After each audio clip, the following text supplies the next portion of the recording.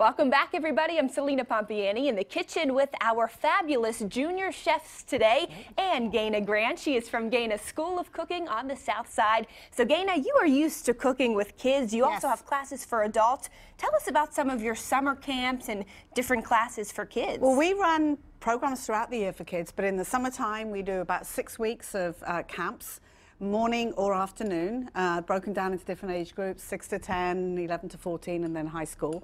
And we do cooking and baking, and they're all hands-on. They get to cook and eat everything they make. You know, like these guys are doing these now. It's something we make in the class with this, the little chips, and then we're going to make some fruit salsa in a minute. And then we do adult classes the same, all sorts of different things, international cuisines.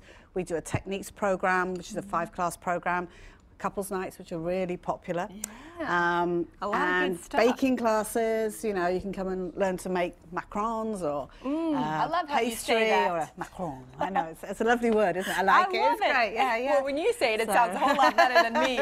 So, what are our junior chefs cooking up today? Well, this these are, as I say, um, it's uh, uh, tortillas, and they have um, sugar, butter, and cinnamon on them, and they are going to bake in the oven, and then they're going to look like this.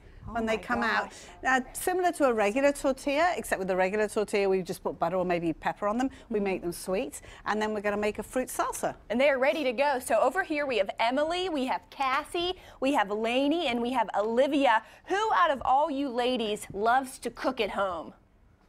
Okay, so pretty much everybody. What sort of things do you like to make? Um, the other day I made what was it, Lenny? Marshmallow, peanut butter. Ooh. They had like marshmallows in the middle. Peanut butter chocolate chip cookies. Yeah, there were peanut butter cookies Ooh. and chocolate chips in them. Oh good. my goodness, that sounds that good. sounds great. Cake. Cake. Just cake.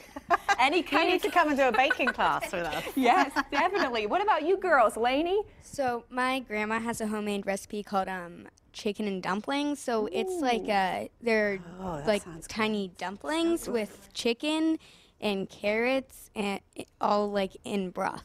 Ooh, it's fancy. Ooh, that sounds wonderful. Olivia? Well, for Easter, me and my mom made a blue velvet cake with with um, Italian buttercream ice, icing, and then we put a peep on top. Oh my gosh. So not a red velvet cake, a blue velvet Yeah, cake. Yeah, yeah. Wow. Was it colored blue? The cake was. Yeah. Wow. That's Ooh, great. That sounds really good. It does, doesn't it? They Sounds are hard at work. Thanks to you, You- Gaynor. you are teaching us great stuff over here. But this is just one of many things we're going to be cooking Yes, up today. What do we have next? We're going to cut up the fruit now and make the fruit salsa with some bananas and apples and kiwi and um, strawberries.